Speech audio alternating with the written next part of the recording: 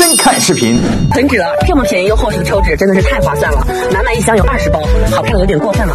四层纸带压花的，质感特别好，没有纸屑，一大包有九十抽，没有对比就没有伤害，而且就算湿水也不易破，母婴可用，全家可用。这么大一箱纸还那么便宜，这不是妥妥的智商税吗？买了二十九块九，到手一箱，咱们先打开看一下。